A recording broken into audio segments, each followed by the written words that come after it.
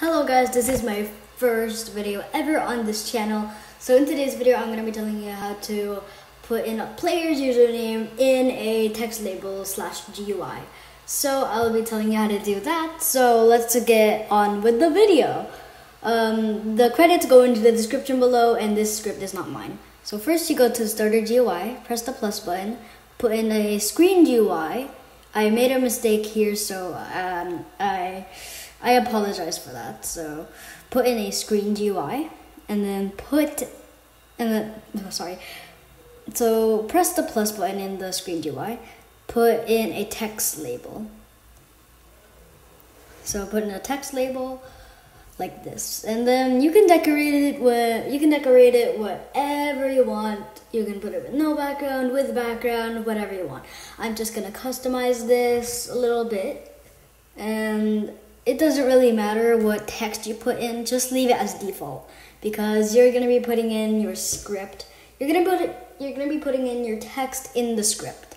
And the script is very short, so don't worry if you have any trouble with it. So now press plus on the text label like this. Um, but first you need to name it player name. The the credits go into the, the description below, so yeah. So player name. So then you need to press the plus button on player name. And then you need to put in a local script. Okay, so now go ahead and delete print hello world. And then here's what you're gonna write. So you're gonna put local player equals to game. So I'll slow down if you need to. So you need to put in local it'll be red. But for light mode users, it'll be blue, I think.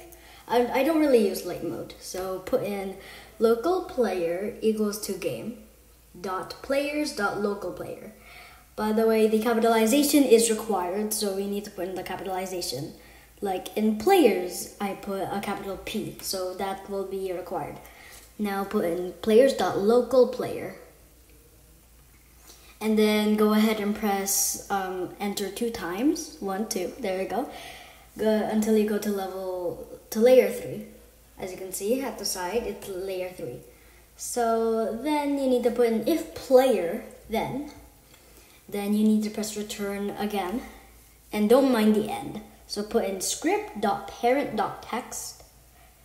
Again there's capitalization. So player.text equals to, and then this is where you're gonna put your text at. Like for example, hello, and um, then you need to put in dot dot like player dot name.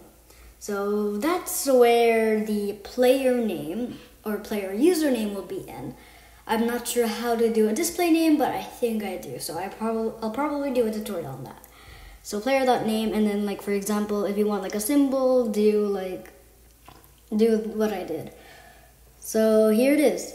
So if you if there's like no space in the label after you test it out, then like for example, it will say like hello username. Like for example, your username is um, cool boy, cool guy, and um, it doesn't say it doesn't have a space on it. So um, if it does that, which mostly it will, then put in what I put in right here.